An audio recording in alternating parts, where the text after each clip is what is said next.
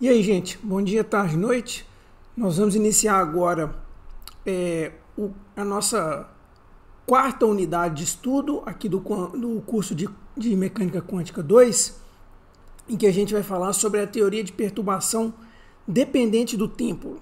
Ao longo do, do da, das explicações aqui vai aparecer alguns desenhos característicos, já já, a começar por esse aí do Thor, mas já já vocês vão entender por que, o que, que esses desenhos estão fazendo aí, né? Então, qual que vai ser o nosso, é, a nossa sequência de estudo? Primeiro, nós vamos começar com uma introduçãozinha, relembrando como que a gente fez lá no início, lá na Quântica 1, em relação à equação de Schrödinger, que é uma, que é uma equação diferencial no espaço e no tempo, só que a gente pega é, e como ela é separável em alguns casos, a gente acaba se concentrando na equação independente do tempo e larga o tempo para lá. Agora a gente vai trazer o tempo de volta para tentar estudar principalmente é, a transição de entre níveis permitidos de energia. Então, vamos no nosso amigo átomo de hidrogênio. Você tem lá os níveis de energia, estado fundamental e estados excitados a gente aprende na quântica 1 que aqueles são estados estacionários. Então, como é que um, um elétron passa de um nível para o outro e o que, que tem que acontecer para que essa transição aconteça? Então, a teoria de perturbação dependente do tempo ajuda a gente a entender matematicamente sistemas como esse, né? Transição de, entre níveis de energia em um átomo, tá? Depois, a gente vai sempre começando, sempre, sempre fazendo o que a gente sempre faz na física, que é pegar um sistema e tentar começar a explorar o mais simples possível. Então você vai supor que tem ali um sistema qualquer que tem apenas dois níveis de energia, como que a gente, como que ficam nossas equações para estudar ele. Depois a gente vai passar para emissão e absorção, que são é, estudos lá da interação entre radiação e matéria que é um campo muito importante da física e a gente começa a ver ele matematicamente pela primeira vez aqui em Quântica 2. Depois a gente vai falar um pouco, a gente vai fechar um pouco em um desses tópicos que a gente vai ver aqui nesse item, que é a emissão espontânea. Né? E a gente vai ver lá, então, é, se um elétron que é excitado e ganhou uma energia e foi para um nível acima, e ele caiu num estado estacionário, então por que, que ele volta espontaneamente, né? Isso é uma das primeiras perguntas que você pode se fazer quando você começa a estudar lá na Quântica 1 os tais dos estados estacionários. Né? A primeira coisa que a gente fala lá, opa, esse estado aqui, a probabilidade de você achar o cara nele, ela não muda com o tempo. Então, se um elétron tiver no estado fundamental ou tiver um, um dos estados excitados do átomo de hidrogênio, a tendência seria, de acordo com a mecânica quântica 1, ele ficar lá. Por que, que ele decai? Então a gente vai ver isso lá em emissão espontânea. Fechando, né? Na verdade, a gente, na verdade, a gente já vai tratar um pouquinho nessa sessão aqui de emissão e absorção, mas vai dar uma, uma consideração maior aqui para as transições permitidas e proibidas num, num processo de emissão. Tudo bem? Então vamos começar. Vamos lá para a introdução então você vai ver aqui no cantinho pequenos objetos é, relacionados à cultura pop, só para não ficar uma coisa muito maçante, que tem a ver com o tempo. Tá? Vale ponto saber o que é cada um. É sério, pode ser pouquinho ponto, mas vale. É... Então vamos lá. Nosso ponto de partida é a quântica 1. A gente precisa recapitular né, na, na, nossa estrada na Quântica 1, onde foi o ponto que a gente pegou e tomou o caminho de esquecer esse negócio de tempo e ficar concentrado só no espaço. Então vamos tentar recapitular. Tudo que a gente viu na Quântica 1 e até agora na Quântica 2 é chamado estática quântica, em que vocês em que a gente estuda os tais estados estacionários e simplesmente fala que a parte temporal é aquela exponencial lá que dependia do tempo, porque você tinha tratado a equação de Schrödinger como separável. Então, ó, quando que a equação de Schrödinger é separável? Quando a sua energia potencial ela é uma função só do espaço. Se ela for uma função do espaço e do tempo, tudo que a gente fez em, em mecânica quântica 1 até o presente momento não pode ser usado. Você não pode usar equação de Schrödinger independente do tempo, porque com um potencial dependente do tempo, você não chega nela. Então, a estática quântica, você pega o potencial e fala, ó, esse potencial aqui depende só do espaço, o que é bastante razoável quando você vai para a gente fazer aqueles estudos lá de é, poço quadrado finito, poço quadrado infinito, oscilador harmônico, poço delta, que de fato você tem sistemas reais e que aquilo pode ser usado como uma, aproxima, como uma, uma aproximação razoável. Beleza? Só que agora a gente não quer mais isso, a gente quer colocar o tempo na jogada. E aí? Então vamos voltar onde a gente, no momento em que a gente largou mão do tempo. Então, equação de Schrödinger de maneira, equação de Schrödinger aqui, ó, dependente, a dependente do tempo. Você tem esse termo IH cortado de psi dt, em que psi é função de espaço e tempo. E o, como que a gente tinha feito para esse camaradinho aqui sumir a gente chegar na equação de Schrödinger? A gente tinha primeiro assumido isso aqui, a equação de Schrödinger fica separável, a parte temporal é resolvida é, com muita facilidade e a solução é essa exponencial negativa no tempo. Então a gente passa a tratar a nossa função de onda como um psi ainda não sabe que é dependente do formato desse carinha, vezes uma exponencial decrescente no tempo, e aí a gente, a gente reduz esse camarada ao a equação de Schrödinger independente do tempo, que é o que a gente não vai poder fazer mais. Se você considera um potencial dependente do tempo, você tem o que a gente chama de dinâmica quântica e um pouquinho de cuidado ao ler a versão traduzida do, do Griffiths, porque eles tiveram a manha de traduzir estática quântica como estatística quântica. Toma cuidado, tá? Lá é Quantum Statics, é estática quântica, não estatística quântica, igual está lá na versão, é, a versão em português do Griffiths, beleza? Então, nossa concentração aqui vai ser a dinâmica quântica em que você considera potenciais que dependem do tempo. Seguindo, quais são os objetivos do nosso estudo aqui? Primeiro, a gente tem que estabelecer uma relação entre potenciais dependentes do tempo e teoria de perturbação. Qual será essa relação? Então a resposta é a seguinte: se a parte dependente do tempo for pequena o suficiente, quando você, quando você comparar com a parte independente do tempo, você pode tratar essa parte que depende só do tempo como uma perturbação e uma perturbação dependente do tempo. Com isso, nós vamos estudar o que? As chamadas transições né, de um nível para outro de energia ou elas são ditas também saltos quânticos, né? Então, isso é o que a gente estuda. E aí, o que exatamente que a gente vai estudar? Mecânica quântica é probabilidade. Então, a gente vai estudar probabilidade de que, de que haja uma, uma transição de tal nível para tal nível, dadas as condições estipuladas pelos, pelo problema. Então, esse é o nosso objetivo. Probabilidade de que ocorra uma transição de um nível A para um nível B, ou de um nível B para um nível A. Então, que, que a gente. Vamos tentar ilustrar isso aqui. Eu tenho aqui um elétron em um nível, um certo nível que eu estou chamando de N mais 1, ele vai decair para N por algum motivo que a gente vai discutir depois. Então ele decaiu para N e no processo ele liberou um fóton que se esse fóton estiver no espectro visível, a gente consegue enxergar isso como uma centelha, ou uma faísca, ou aquilo que estava saindo do martelo do Thor lá na, na primeira, na, na figurinha que tem lá no, no início do, dessa apresentação aqui. Exato, essa aqui, ó.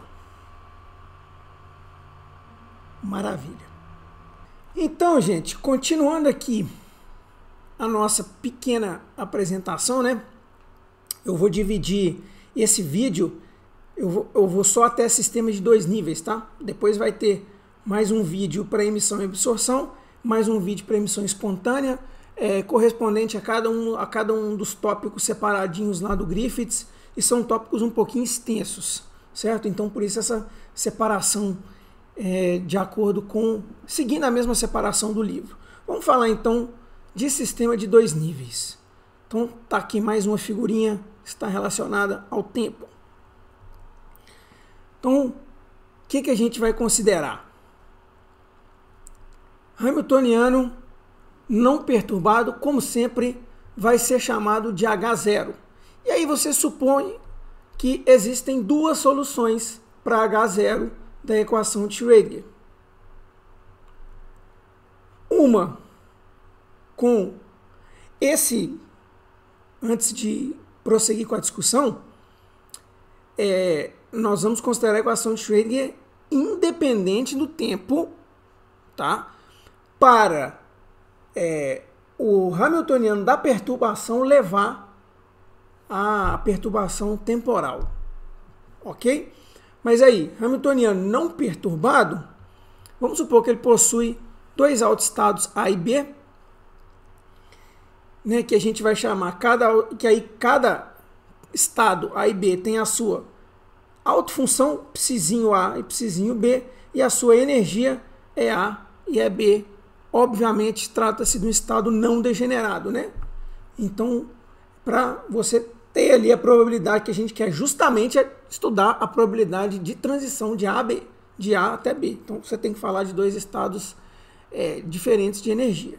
Naturalmente, se são é, auto, auto funções do mesmo Hamiltoniano com é, energias diferentes, vai valer a delta de Kronecker para o produto interno entre se A e B. Né? Se A é igual a B, isso vale 1, normalizado.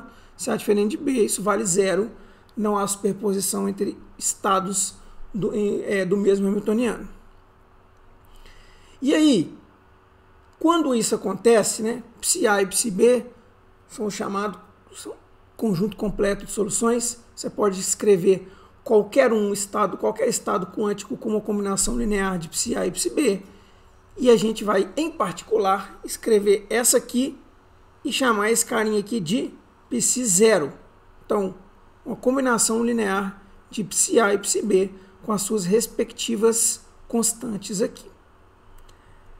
Qual que é o nosso objetivo aqui? Se a gente quiser a evolução do tempo a partir de psi0, que a gente acabou de definir, o que, que a gente faz? Acrescenta as exponenciais decrescentes no tempo aqui, porque você está falando de soluções da equação de Schrödinger independente do tempo. Então, partindo daquele psi0 que a gente definiu lá atrás, se a gente quiser a equação temporal, é só a gente fazer dessa maneira e como as probabilidades não evoluem no tempo, você vai ter modo quadrado de CA mais modo quadrado de CB sendo igual a 1. Ou seja, a sua partícula tem que estar em um dos dois níveis, já que são as duas probabilidades para esse sistema que a gente definiu. Até agora, nada de novo. Tudo isso a gente já sabe da quântica 1. Trata-se apenas de uma recapitulação e da gente arrumar as coisas aqui, deixar tudo preparado, porque agora o tempo vai entrar. Olha, olha isso aqui, ó. Isso aqui antes não era tão importante para nós. A gente abandonava essas exponenciais temporais e ia se, ia se concentrar nos psis que dependiam só do espaço. Agora o que eu estou fazendo? Trazendo essas exponenciais de volta, porque elas vão ser importantes para a gente. Então, é, voltando aqui nessa, nessa equação, o que, que isso fala? Ah, essencialmente que PCA, PCB são estados estacionários e que essas probabilidades aqui, elas não irão evoluir no tempo, pelo menos não da maneira que a gente estudou até agora. Certo? Então, seguindo, o que, que a gente quer fazer? Então, agora sim a gente passa a estudar o sistema perturbado. Nós vamos inserir a perturbação H' de T, e os coeficientes CA e CB passam a ser funções do tempo, porque se eu inserir uma perturbação que depende do tempo, as nossas probabilidades não vão ficar mais fixas no tempo. Isso é razoável você admitir isso. E aí como que nós vamos como que a gente vai escrever aquela equação para psi que a gente tinha? Mantém esse carinha, mantém as exponenciais. E quem vai ganhar um fator no tempo aqui serão as constantes, porque você vai manter os estados estacionários. Lembre-se que se trata de mais um método de aproximação.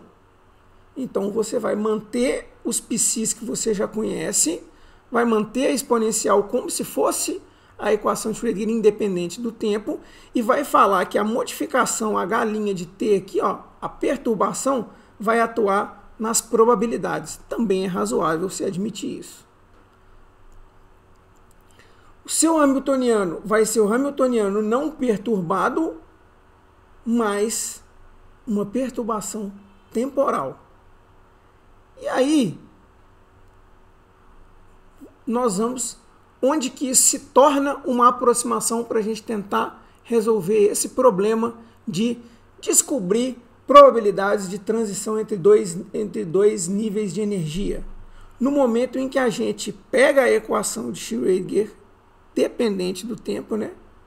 E insere esse Hamiltoniano aqui e essa função de onda aqui e aqui. Então, aqui começa a sua aproximação. Qual será o resultado? Se você fizer essa continha aqui, insere esse cara aqui, insere esse cara aqui e aqui, e depois toma o produto interno com psi-A, seu resultado vai ser esse aqui. Seu resultado vai ser esse de cá, em que CA ponto é a derivada no tempo de CA. Lembra que CA e CB agora são funções do tempo. Então, CA ponto, esse pontinho aqui em cima, derivada temporal de CA seguindo a notação que vocês devem ter utilizado, pelo menos lá em mecânica clássica, né? Quando você põe um x ponto, x dois pontos lá em cima, você está falando de derivada temporal. Nota quem, quem que apareceu aqui, ó. Aquela, aquela, é, aqueles elementos de matriz, né? O que a gente chama de elementos de matriz. Aqui, AA, AB, e você vai ver que os outros vão aparecer também quando a gente tomar o produto interno com psi B, né? Então, vamos definir esses carinhas aqui como elementos de matriz H' AB e H' AA e reescrever isso aqui dessa forma aqui, ó. Note o seguinte, essas, essa exponencial aqui, ela foi passada para o lado de cá. A gente isolou CA ponto. Tá? Aqui a gente é, isolou CA ponto. Esse aqui é o seu resultado, em que a gente define CA ponto como a derivada temporal de CA e os elementos de matriz H' e J como psi H' psi J integral em todo espaço. Tá? Detalhe, continuam sendo integrais espaciais as definições dos elementos de matriz, tá? Os elementos de matriz aqui, ó, eles continuam sendo integrais em relação ao espaço. Esse H' aqui depende do tempo. Então, o que que serão o, o que, que será o seu resultado aqui dos elementos de matriz? Serão funções do tempo. Antigamente lá, né, no, na teoria de perturbação independente do tempo, seus resultados aqui de elementos de matriz, eles eram números, no máximo, no máximo, dependendo lá do problema, se você tivesse um parâmetro ajustável ou se você tivesse um parâmetro lá que você, um parâmetro qualquer que você não conhecia, seria função do espaço no máximo. Mas é, era comum, mais comum que os seus elementos de matriz fossem constantes depois que você integrou tudo lá, tu fizer uma integral espacial definida, terminou, você tem uma constante. Aqui você tem uma função do tempo. Tá? São integrais no espaço, cujo resultado é uma função do tempo. Então, esse carinha aqui é a função do tempo, esse carinha aqui é a função do tempo. O que, que você tem aqui? Uma equação diferencial né, temporal, vamos dizer assim. Encontrar isso aqui, apesar, a partir do que foi relatado aqui, né, do procedimento que eu simplesmente falei, ó, você toma um produto interno, joga isso lá, joga isso cá, toma um produto interno, para chegar aqui, esse é o exercício 1, chegar aqui tanto para o CA quanto para o CB, que é o que a gente vai ver aqui agora. Ó. Se o produto interno for, se você tomar o produto interno com PCB, você chega a esse cara e a esse carinha aqui. Você vai colocar isso aqui, esses, essas quatro equações aqui aquelas duas que estavam ali, mais essas duas aqui no seu exercício 1. Certinho? Então aqui, ó, mais uma equação diferencial em relação ao tempo aqui, derivada em relação ao tempo de CB, elementos de matriz aqui que são funções de T, exponencial. Pá, nota que aqui, ó, o que, que já apareceu na sua exponencial? A diferença de energia entre A e B. Você viu isso lá em física moderna, né? como que a transição entre níveis de energia, ela, é, você estudar ela, você vai depender bastante de conhecer, né, o fóton que está chegando tem que ser, é, tem que ter energia corresponde, é, maior ou igual ao, a diferença entre os dois níveis de energia para poder citar o elétron de um nível para o outro. Você vê isso lá na física moderna. Vai ter a ver com o que a gente vai ver aqui? Vai, você vai ver que vai. Então, voltando aqui para o seu exercício 1, chegou aqui para o CB ponto, elementos de matriz, beleza. Então, o que, que a gente fez até agora? Não muito. A gente iniciou um método de aproximação em que se eu encontrar CA ponto e CB ponto, se eu encontrar CA e CB, as funções CA, de T e CB de T, pode até, pode até tirar esse pontinho aqui de cima, ó não, até não precisa deles não.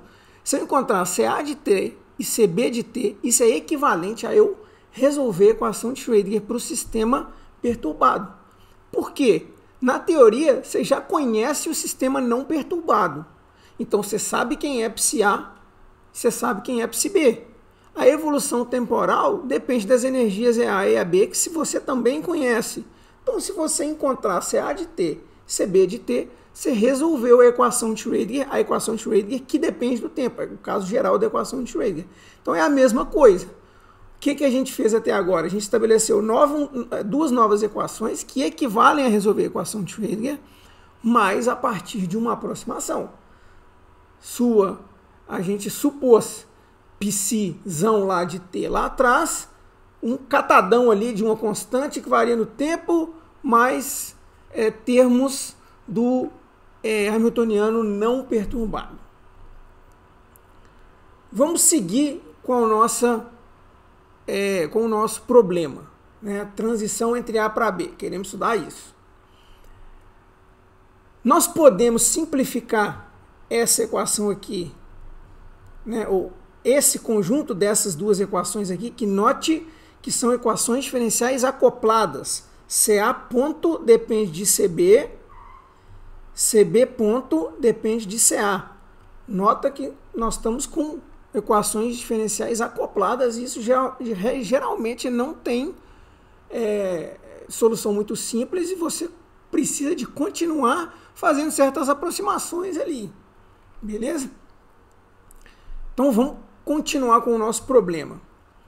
Tipicamente, a gente vai ter elementos de matriz psilinha AA e psilinha BB que são nulos, tá?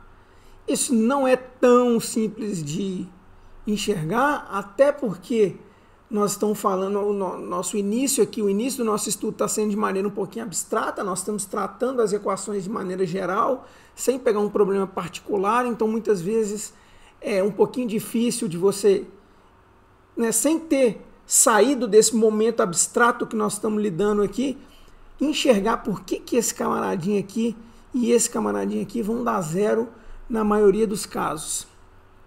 O que vai ser interessante, né, depois eu vou colocar aqui para a gente fazer, é um dos exercícios lá do Griffiths, o 9.4, que mostra que mesmo que psi' A e psi' BB, se eles não forem nulos, você consegue rearranjar suas equações para você ter é, equações parecidas com essas aqui, sem o psi' A e o psi' BB, nota, repara aqui que eles já foram removidos, então você consegue rearranjar suas equações aqui de maneira que você só adiciona uma fase a essa exponencial aqui.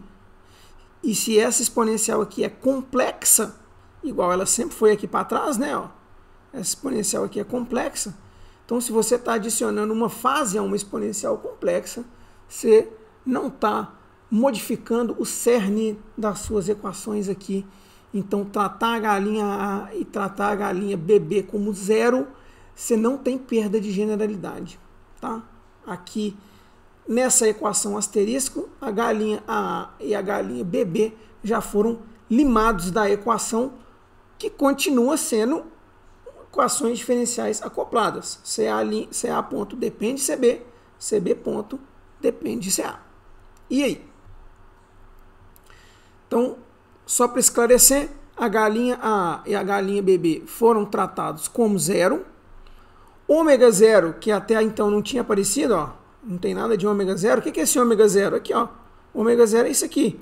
É B menos EA sobre H cortado, porque isso vai ter unidades de frequência. Né? A unidade desse carinha aqui vai ser frequência, por isso ele foi chamado de ômega e colocado aqui. Beleza? Então, seu exercício 2, que é um exercício grandinho, portanto, esse aqui vai ser o último exercício desse vídeo. Esse vídeo pede só dois exercícios. Ele é um pouquinho grande, ele é o exercício 9.4 do livro. É mostrar que mesmo se a galinha AA e a galinha BB não forem zero, você consegue reescrever as suas equações para que elas tenham essa cara aqui, mas que você só adiciona uma fase aqui na sua exponencial complexa. Portanto, a gente pode seguir, como eu já havia dito, sem perda de generalidade, tratando a equação asterisco aqui na nossa aproximação.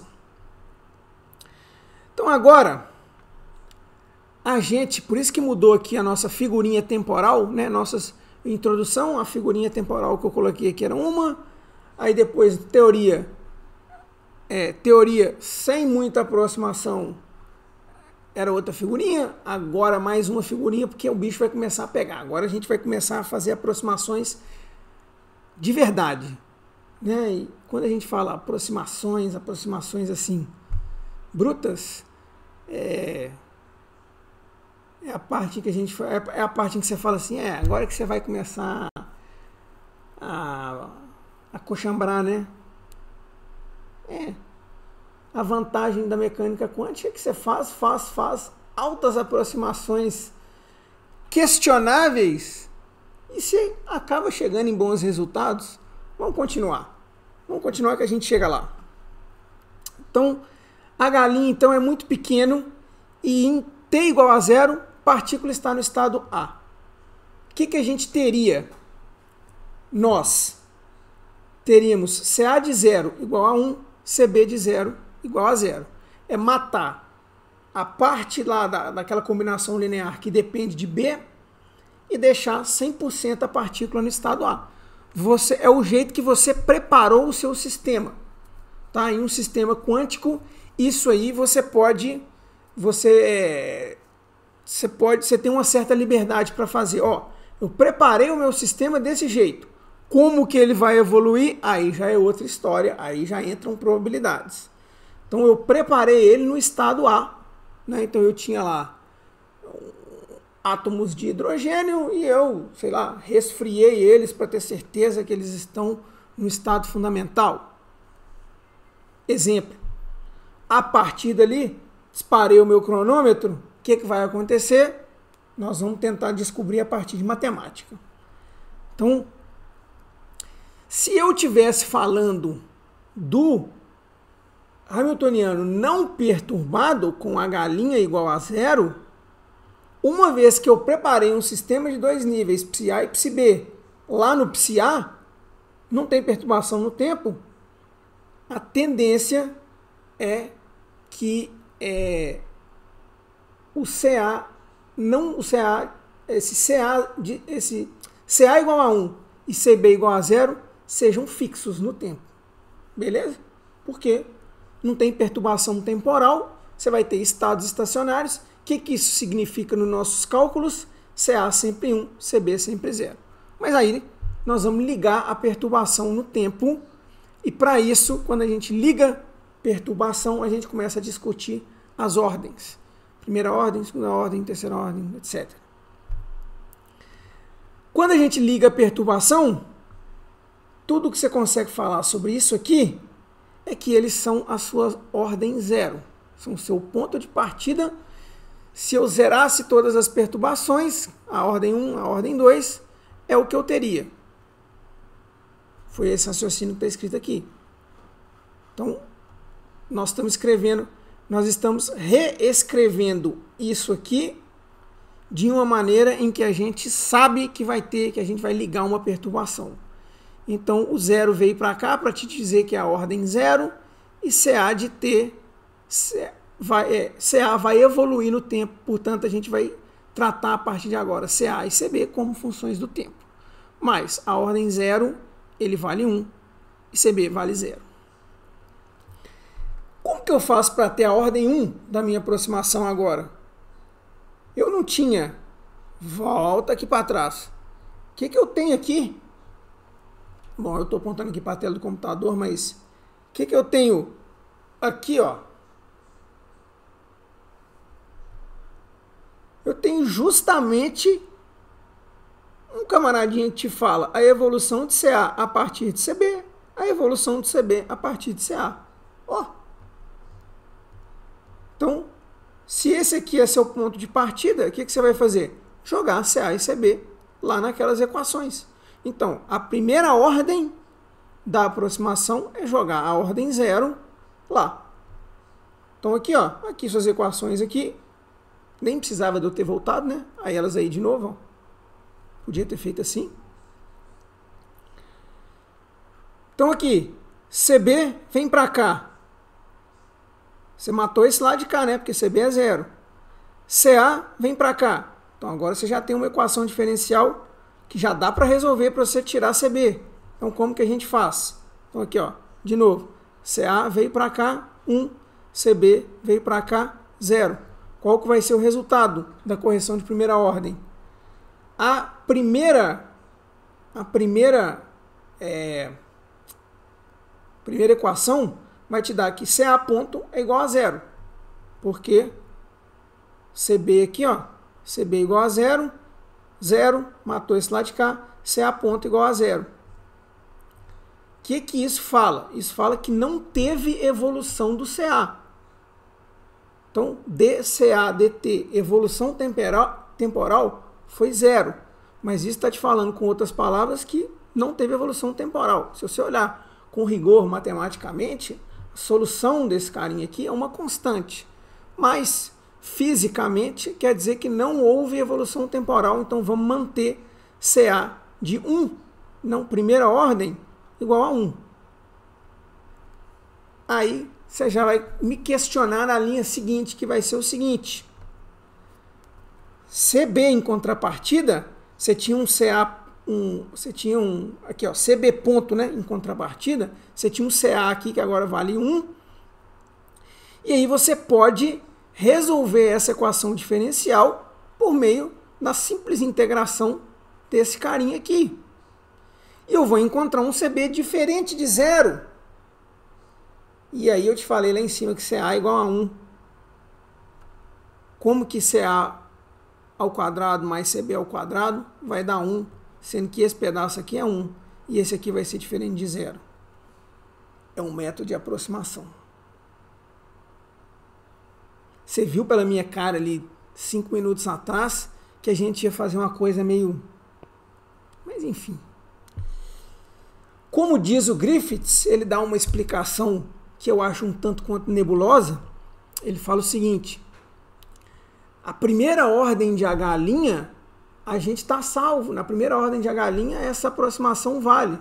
Pois é, mas nós vamos ver que a primeira ordem de H' é ficar com o 1 pendurado lá. Então, se você não gostou dessa explicação do Griffiths, eu também não. Eu prefiro simplesmente falar que é um método de aproximação que, apesar da gente ter tido ali essa, esse percalço na primeira ordem, ele vai ter lá a sua é, utilidade lá na frente.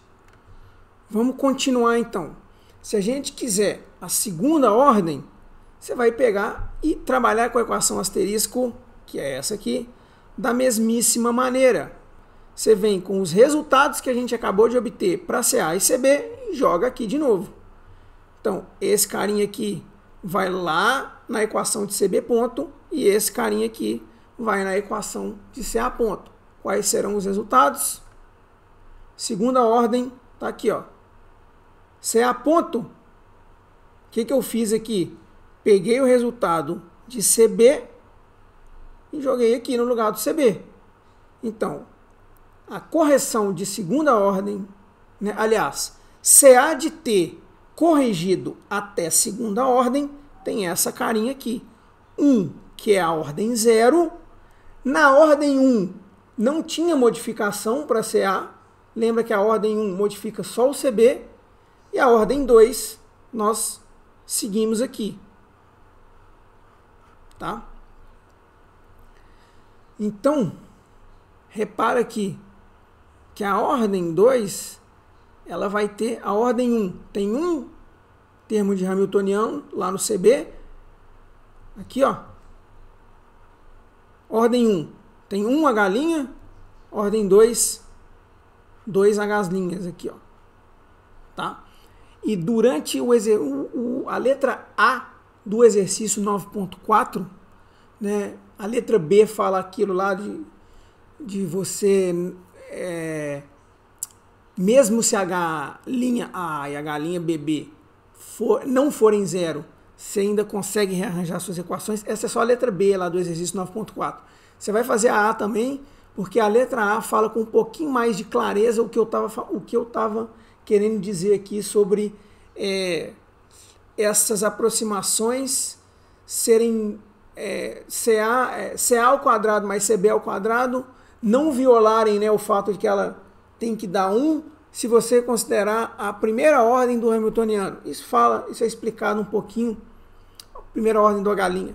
Isso é explicado um pouquinho melhor nesse exercício, tá? Então é fundamental, fundamental é, você trabalhar esse exercício para compreender por que, que mesmo a gente chegando lá na primeira ordem, tendo um coeficiente igual a 1 e o outro é diferente de zero, então o modo quadrado de um é modo quadrado do outro, não vai dar 1.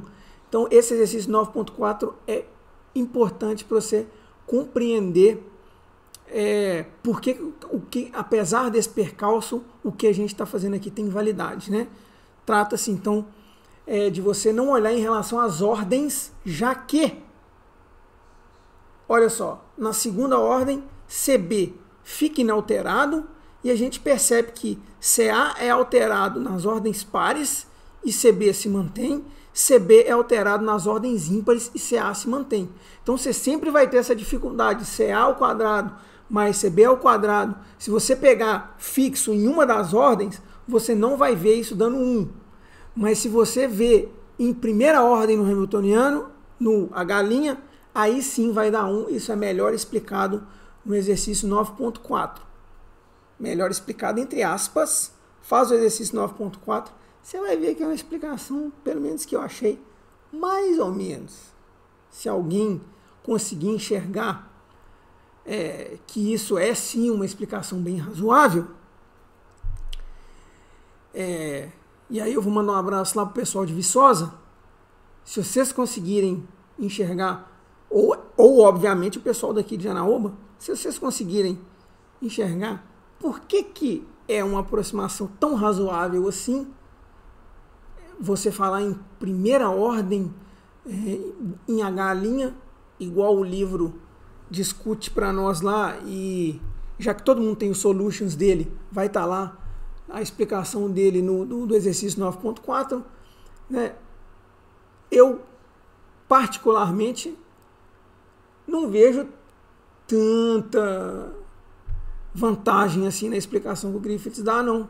Mas se alguém é, se alguém conseguir enxergar, por favor, me manda um WhatsApp, deixa um comentário, faz é, a sua observação será com certeza muito bem-vinda. Agora é o seguinte. Já fizemos aqui até segunda ordem, que é tipicamente toda vez que você está fazendo uma expansão de qualquer coisa, você vai lá, ordem zero, primeira ordem, segunda ordem. Na ordem, na terceira ordem, as coisas já começam a ficar pequenas demais. Olha só, esse é meu, lembra que a galinha de T é pequeno. Então aqui você já tem dois deles, já ficou muito menor. Na terceira, quarta ordem, essas coisas vai ficando desprezível. Então, em termos de equações para as nossas, é, para as nossas correções nos CAs, que são nossos objetivos, a gente já tem equações suficientes para começar a atacar problemas específicos. O nosso primeiro problema específico vai ser perturbação senoidal. Por que isso? Porque, ó, tô aqui o tempo inteiro dando um exemplo tem um elétron no estado fundamental do hidrogênio, vou, vou jogar energia em cima dele e jogar ele para cima. Tipicamente, como que você dá energia para um, átomo? Jogando, né? Bom, você pode dar por temperatura, ok? Aumentando a temperatura, mas você pode dar também jogando um laser. É, iluminando esse átomo, né? Então, ou colocando ele na presença de fótons, radiação. E qual que é a característica de é, qual, qual que é a característica dessa perturbação? Se a perturbação vier de uma onda eletromagnética, de uma radiação eletromagnética, que é o que a gente vai ver especificamente lá no, no, na próxima videoaula. Então, uma onda eletromagnética ela tem um caráter senoidal. Então o que, que a gente vai fazer?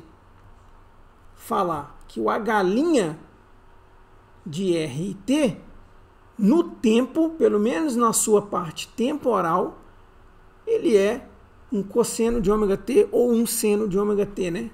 Aqui seria, no caso, uma perturbação cossenoidal. Mas a gente fala aqui, ó, senoidal, generalizando essas as funções é, seno e cosseno, né? As funções trigonométricas seno e cosseno. Então, como que a gente aplica? Vamos pegar as equações que a gente já tem, tudo isso que a gente estabeleceu ali para trás, e jogar uma galinha de formato senoidal e é, reorganizar as equações que a gente já fez ali atrás para esse caso que vai ser bastante estudado na próxima videoaula. Vamos sim, como a gente acabou de estudar, dizer que a galinha A e a galinha bebê serão iguais a zero. E os elementos de matriz, então, aqui, ó, nós já estamos falando de elementos de matriz, não confundir, ó. Esse aqui é o Hamiltoniano da perturbação. Aqui nós estamos falando de elementos de matriz. Porque VAB, por sua vez, será um elemento de matriz. E aqui uma integral puramente espacial. Ó.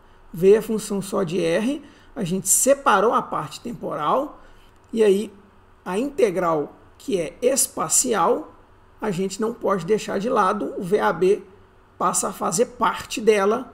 Então o elemento de matriz VAB, né, nosso elemento de matriz temporal, se tornou um elemento de matriz espacial, igual a gente já conhece, vezes o cosseno de ômega t. Quando a gente joga esse cara e esse cara no que a gente já tem lá de equações lá para trás, CB de T, primeira ordem, né? Vai ter essa carinha aqui. só ajustamos para o caso em que a perturbação é senoidal. O que, que a gente vai fazer agora? Você tem aqui cosseno e uma integral, uma, desculpa, uma exponencial complexa. O cosseno pode ser escrito como uma exponencial complexa. E aí a gente vai fazer ele, a gente vai escrever ele como uma exponencial complexa para facilitar a resolução dessa integral. Então aqui, como que a gente escreve o cosseno como exponenciais complexas, né? Seria E i ômega t mais E menos i ômega t sobre 2. O 2 veio parar aqui fora e é correto, né? Então o 2 veio parar aqui fora.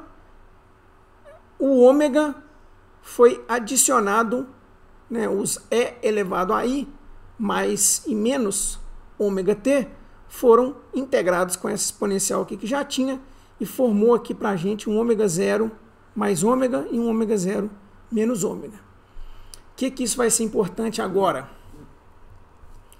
Se a gente resolve a integral, ó, essa integral aqui ficou bastante tranquila de ser resolvida agora, ela é uma integral de uma exponencial. A resolução dela é bastante simples, então você tem esses dois termos aqui. Poderia ter colocado como exercício, mas acaba que fica um exercício de cálculo, então não coloquei. Mas esse aqui é o resultado da integral. E a aproximação que a gente faz é a seguinte: ômega zero mais ômega vai ser muito maior que ômega zero menos ômega. Por que, que é razoável fazer essa aproximação? Lembra o que, que a gente está tentando estudar? Tem dois níveis de energia A e B. Quero que o eletrim saia desse nível aqui pule para esse. Para isso acontecer, a energia que você tem que dar para ele não é justamente igual à diferença entre os dois níveis? que a gente já está careca de saber? Não é? Isso não vai implicar em que o ômega, repara, ômega zero foi definido lá atrás e tem a ver. Cadê essa definição? Nós vamos voltar lá atrásão só para ver essa definição. Aqui, ela aqui, ó. O ômega zero ele não foi definido em cima da diferença de níveis. Então, o ômega zero está relacionado com o seu sistema, a diferença entre os dois níveis de energia. O ômega está relacionado com a perturbação. Que, que, que, que a gente está querendo dizer com essa aproximação? A frequência da perturbação tem que estar próxima da frequência né, que traduz a diferença dos dois níveis de energia para que eu consiga ocorrer a transição, para que eu consiga é, fornecer energia suficiente para que ocorra a transição entre A e B. Beleza? Então é aquele, aquela história. Se eu forneço uma energia que é muito abaixo de A e B, não ocorre a transição. Se eu, se eu forneço uma energia que é igual a A e B, a partir disso a igual a diferença entre A e B, a partir disso a transição pode sim ocorrer. Então o que, que você está falando aqui? Que a energia que você vai dar tem que ser próxima da diferença de energia entre os dois, entre os dois níveis. É isso que essa aproximação aqui fala. O que é razoável, senão não tem chance de ocorrer transição. Matematicamente, o que, que isso vai significar? Se isso aqui, se esse termo é muito maior do que esse termo aqui, você está dizendo que, matematicamente falando, esse termo aqui é desprezível. Então, se esse carinha aqui é muito maior do que esse aqui, esse termo aqui ficou muito grande, esse termo aqui ficou muito menor do que esse aqui, e nós vamos passar a trabalhar só com esse cara, não mais com esse aqui. Portanto, a aproximação te fala que seu CB de T é isso aqui. Da onde que vem? Da onde que vem isso tudo? Você desprezou esse termo aqui, aliás, você desprezou esse termo aqui e reescreveu esse termo aqui que sobrou. Nós temos um 1 aqui, ó. Se eu colocar E e ômega 0 menos ômega T sobre 2 em evidência, eu vou ter isso aqui, ó. Certo? Botei em evidência. Aqui eu vou ter é, o termo sobre 2 também. E aqui eu vou ter ele negativo, que é onde eu tinha um 1. Para que isso? Porque isso aqui, com esse 2 aqui, isso aqui é um seno. Então aqui, ó, você reescreve isso aqui como seno, e aí você tem aqui essa exponencial aqui, ó, tá escrita do lado de cá. Por que, que isso tudo foi rearranjado dessa maneira? Porque o importante para a gente é o que? Módulo quadrado de CB de T, probabilidade. Então, quando a gente passar o módulo ao quadrado, a gente vai ter, a gente vai ser, é, vai conseguir calcular isso matematicamente muito mais fácil. Só elevar o seno ao quadrado, esse carinha aqui vai embora, o menos i aqui vai virar 1, etc. E aí a probabilidade de transição de A para B é o módulo quadrado de CB, que é isso aqui. Então, a gente caminhou bastante no, no, nosso objetivo, que é achar a probabilidade de transição de um nível para o outro. Por que, que nós nos, con nos concentramos no CB de T? Porque ele era zero e vai evoluir para um número diferente de zero.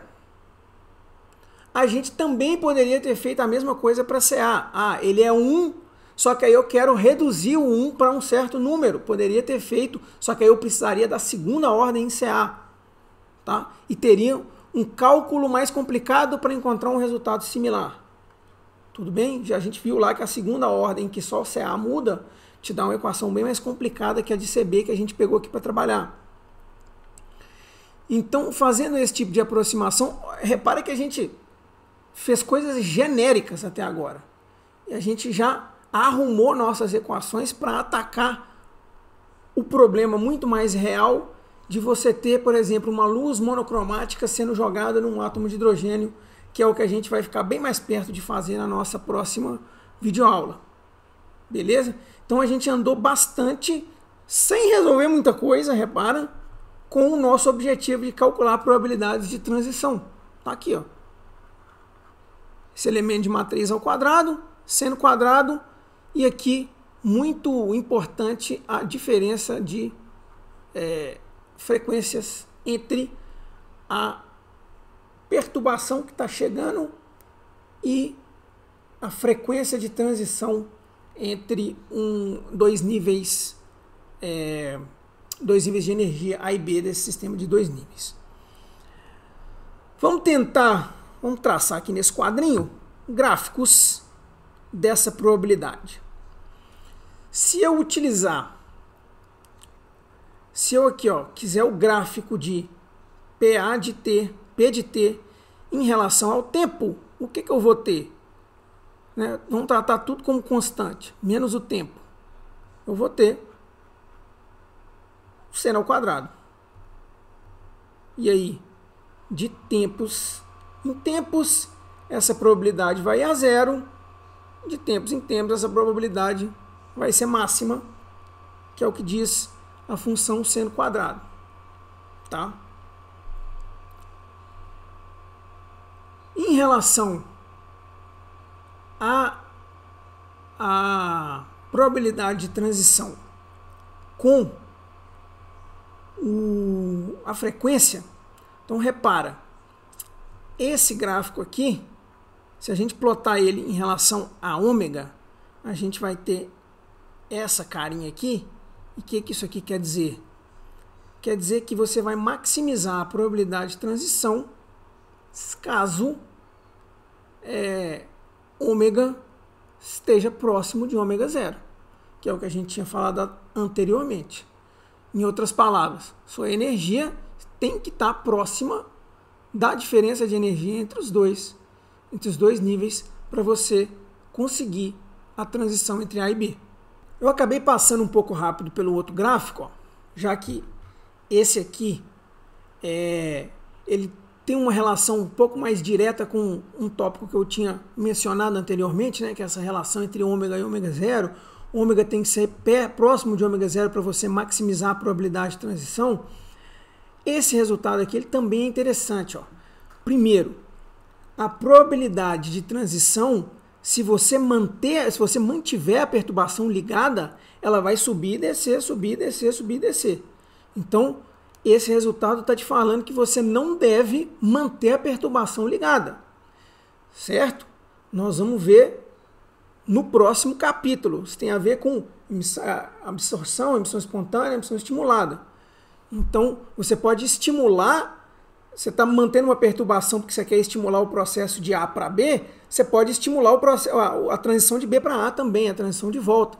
Então, você, você não, não deve manter a perturbação ligada. Então, o que que você, se você quiser maximizar a probabilidade de transição em relação ao tempo, o que que você faz? Deixa a perturbação ligada por curtos períodos de tempo. Então, é, esse gráfico aqui te dá essa informação. Se você mantém a, é, o seu, a perturbação ligada durante um longo período de tempo, a probabilidade de transição ela oscila. Então, é o, o ideal é que você é, perturbe o sistema em respeitando certos períodos de tempo né, que estão demarcados aqui. Né, se eu deixar a perturbação ligada depois desse período de tempo aqui, ó, meio período de tempo aqui, ó, marcado por 2π sobre módulo de ômega menos ômega 0 menos ômega, de tempos em tempos essa perturbação tende a ir a zero. Então não é interessante eu deixar a perturbação ligada. Isso é um resultado importante. Né? Não é interessante deixar a perturbação ligada e para maximizar a probabilidade, ômega deve estar próximo de ômega zero. Mais uma vez, isso traduz o fato de que a energia que você está fornecendo tem que ser da ordem da diferença entre as duas energias. Certo? Então, esse foi o primeiro vídeo sobre teoria de perturbação dependente no tempo. A notícia ruim é que, como este bebezinho mal encarado está nos dizendo, foi um vídeo bastante longo. A boa notícia é que a gente já preparou todas as ferramentas matemáticas para é, atacar é, problemas mais próximos da realidade, simplesmente jogar nas equações que a gente desenvolveu aqui e ter resultados interessantes para poder discutir. Então, de forma que os próximos dois vídeos sobre emissão e absorção e mais fechado em emissão espontânea, é esperado que sejam vídeos um pouquinho mais curtos. Beleza? Por hoje é só. Até o próximo vídeo. Até mais, gente.